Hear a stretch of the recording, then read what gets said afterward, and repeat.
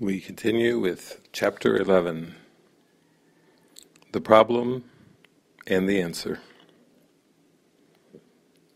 This is a very simple course. Perhaps you do not feel you need a course which in the end teaches that only reality is true. But do you believe it? When you perceive the real world you will recognize that you did not believe it. Yet the swiftness with which your new and only real perception will be translated into knowledge will leave you but an instant to realize that this alone is true. And then everything you made will be forgotten, the good and the bad, the false and the true. For as heaven and earth become one, even the real world will vanish from your sight. The end of the world is not its destruction, but its translation into heaven. The reinterpretation of the world is the transfer of all perception to knowledge. The Bible tells you to become as little children. Little children recognize that they do not understand what they perceive, and so they ask what it means. Do not make the mistake of believing that you understand what you perceive, for its meaning is lost to you. Yet the Holy Spirit has saved its meaning for you, and if you will let Him interpret it, He will restore to you what you have thrown away. Yet while you think you know its meaning, you will see no need to ask it of Him. You do not know the meaning of anything you perceive. Not one thought you hold is wholly true. The recognition of this is your first firm beginning. Instruction in perception is your great need. For you understand nothing. Recognize this, but do not accept it for understanding is your inheritance. Perceptions are learned, and you are not without a teacher. Yet your willingness to learn of Him depends on your willingness to question everything you learned of yourself. For you who learned amiss should not be your own teacher. No one can withhold truth except from himself. Yet God will not refuse the answer he gave. Ask then, for what is yours, and do not defend yourself against truth. You made the problem, God has answered. Ask yourself, therefore, but one simple question. Do I want the problem, or do I want the answer? Decide for the answer and you will have it, for you will see it as it is, and it is yours already. You may complain that this course is not sufficiently specific for you to understand and use, yet perhaps you have not done what it specifically advocates. This is not a course in the play of ideas, but in their practical application. Nothing could be more specific than to be told that if you ask, you will receive. The Holy Spirit will answer every specific problem as long as you believe that problems are specific. His answer is both many and one, as long as you believe that the one is many. You may be afraid of his specificity for fear of what you think it will demand of you. Yet only by asking will you learn that nothing of God demands anything of you. God gives, He does not take. When you refuse to ask, it is because you believe that asking is taking rather than sharing. The Holy Spirit will give you only what is yours, and will take nothing in return. For what is yours is everything and you share it with God. That is its reality.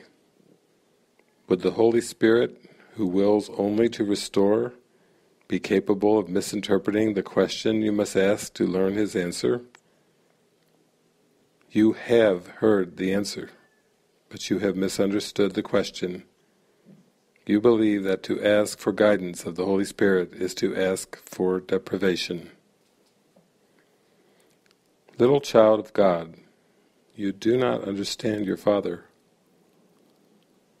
You believe in a world that takes, because you believe that you can get by taking.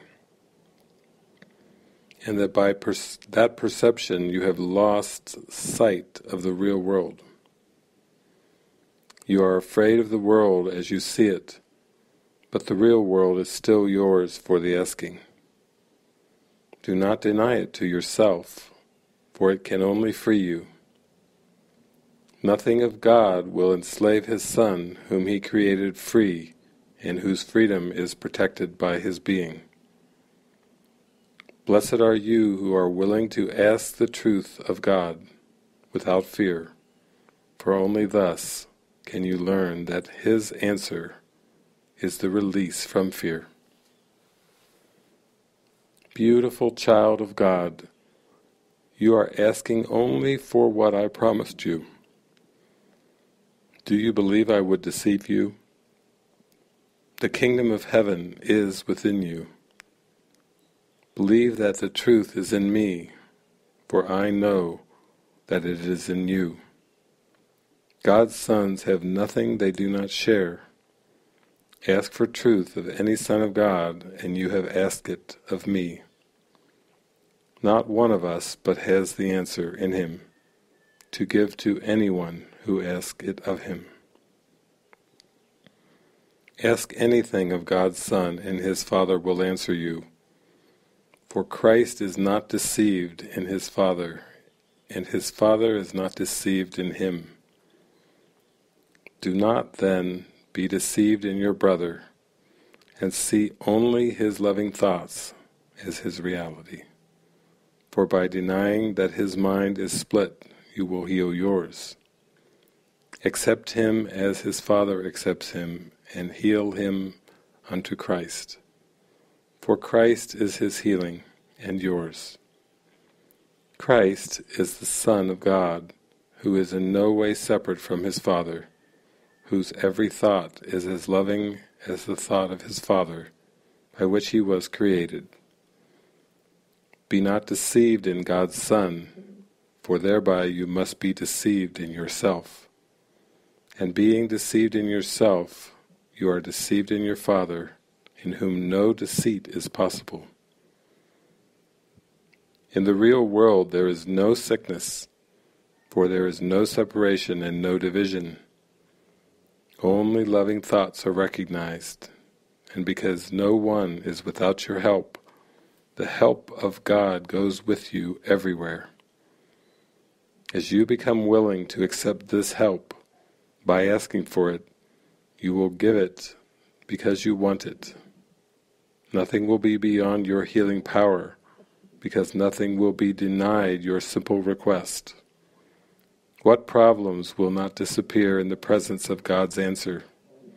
Ask then to learn of the reality of your brother, because this is what you will perceive in him, and you will see your beauty reflected in his. Do not accept your brother's variable perception of himself, for his split mind is yours, and you will not accept your healing without his.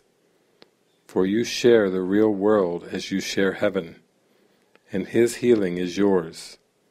To love yourself is to heal yourself, and you cannot perceive part of you as sick and achieve your goal. Brother, we heal together as we live together and love together. Be not deceived in God's Son, for He is one with Himself and one with His Father. Love Him, who is beloved of His Father, and you will learn of the Father's love for you. If you perceive offense in your brother, pluck the offense from your mind, for you are offended by Christ and are deceived in Him. Heal in Christ, and be not offended by him, for there is no offense in him. If what you perceive offends you, you are offended in yourself and are condemning God's Son, whom God condemneth not.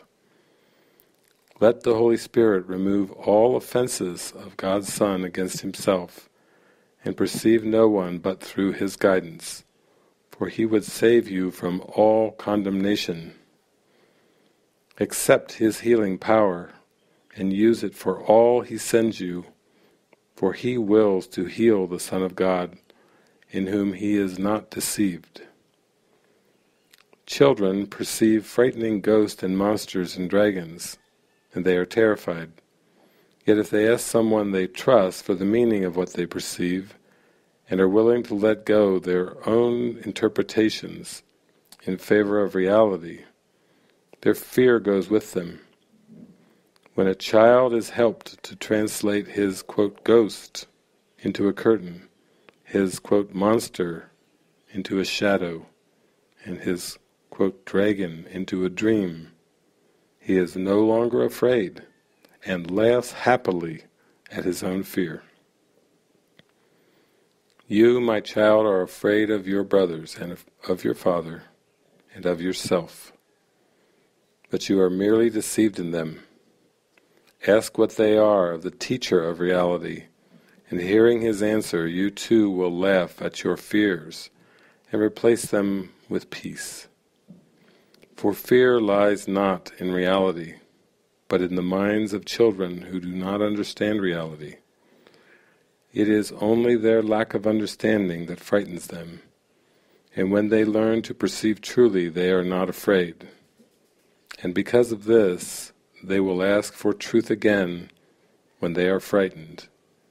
It is not the reality of your brothers or your father or yourself that frightens you. You do not know what they are, and so you perceive them as ghosts and monsters and dragons. Ask what their reality is from the one who knows it, and he will tell you what they are. For you do not understand them, and because you are deceived by what you see, you need reality to dispel your fears. Would you not exchange your fears for truth if the exchange is yours for the asking? For if God is not deceived in you, you can be deceived only in yourself. Yet you can learn the truth about yourself from the Holy Spirit, who will teach you that, as part of God, deceit in you is impossible. When you perceive yourself without deceit, you will accept the real world in place of the false one you have made. And then your Father will lean down to you and take this last step for you by raising you unto Himself. And from the workbook, Lesson 85. Today's review will cover these ideas. My grievances hide the light of the world in me. My grievances show me what is not there, and hide from me what I would see. Recognizing this, what do I want my grievances for? They keep me in darkness and hide the light. Grievances and light cannot go together, but light and vision must be joined for me to see. To see, I must lay grievances aside. I want to see, and this will be the means by which I will succeed. Specific applications of this idea might be made in these forms. Let me not use this as a block to sight. The light of the world will shine all this away. I have no need for this. I want to see. My salvation comes from me. Today I will recognize where my salvation is. It is in me because its source is there. It has not left its source, and so it cannot have left my mind. I will not look for it outside myself. It is not found outside and then brought in, but from within me it will reach beyond, and everything I see will but reflect the light that shines in me and in itself. These forms of the idea are suitable for more specific applications. Let this not tempt me to look away from me for my salvation. I will not let this interfere with my awareness of the source of my salvation. This has no power to remove salvation from me. My grievances hide the light of the world in me. My salvation comes from me.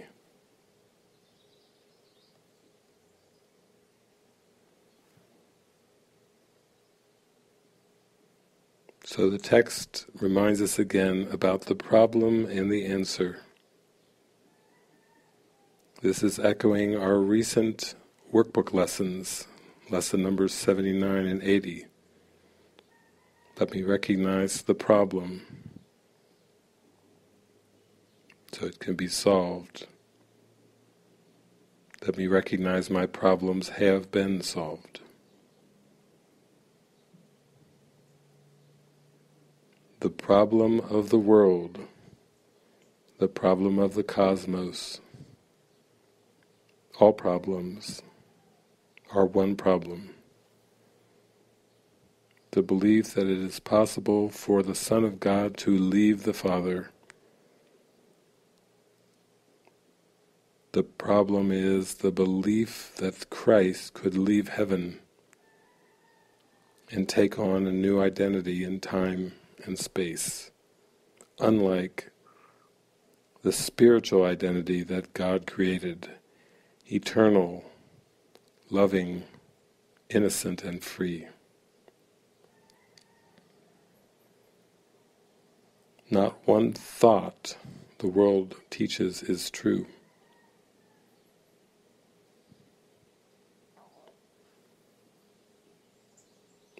The simplicity of the Course lies in the acceptance of this one experience. And with the acceptance of the atonement, everything that was made will be forgotten.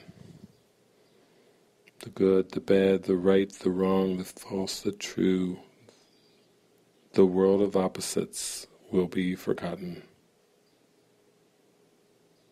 And then even the real world the forgiven world, the happy dream will disappear and only love remains. Heaven is all in all.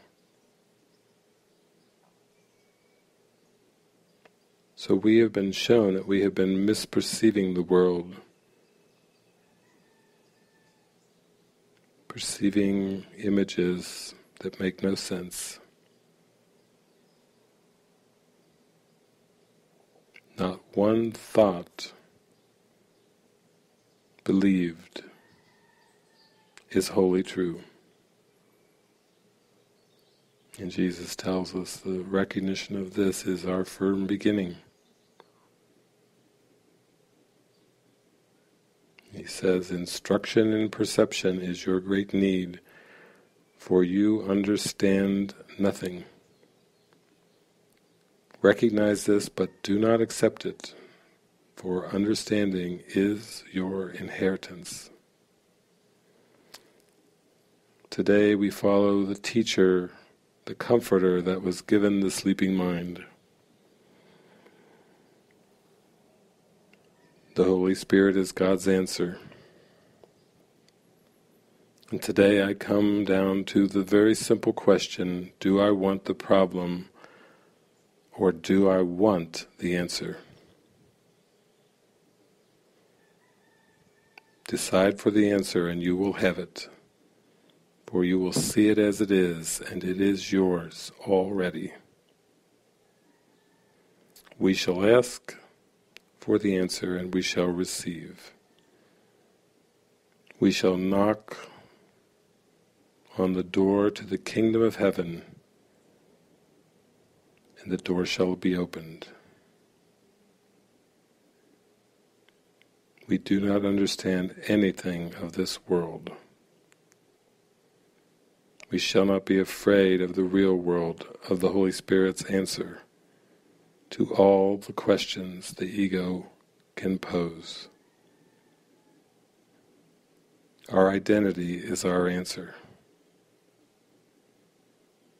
We shall see that identity in everyone we meet today and see it in ourself. We shall accept ourselves as we truly are. Every loving thought is true. Every loving, loving thought has come from our source, our Creator, and from the being that is ourself, the Christ. Today we will not accept our brother's variable perception of himself. We will accept our wholeness and accept the wholeness of everyone and everything. And today if we perceive an offense in a brother, we shall pluck the offense from our mind and no longer be offended by Christ. Christ is our reality, and only an ego misperception could bring an offense. We shall let go of all offenses today, all judgments, and accept reality exactly as it is. We will let go of all faulty interpretations in favor of reality and see the fear disappear as well.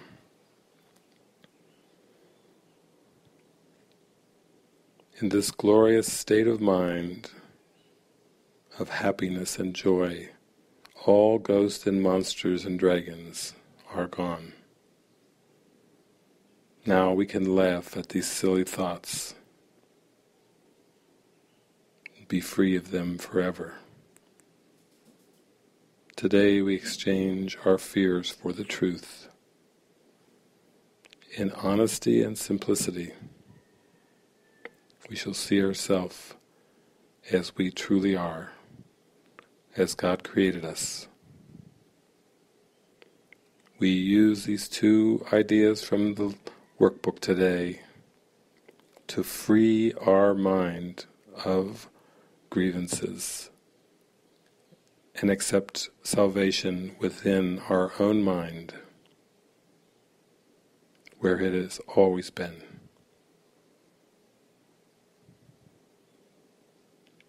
My grievances hide the light of the world in me. Let me not use this as a block to sight. The light of the world will shine all this away. I have no need for this. I want to see. My salvation comes from me. Let this not tempt me to look away from me for my salvation. I will not let this interfere with my awareness of the source of my salvation. This has no power to remove salvation from me. Amen.